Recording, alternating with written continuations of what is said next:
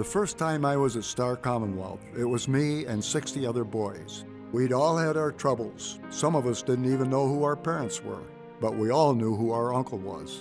Floyd Starr, Uncle Floyd to us. He had more to do with turning my life around than anybody ever. I'm just one of many Starr success stories, but without your help, the stories could end. Visit starr.org to find out how you can help.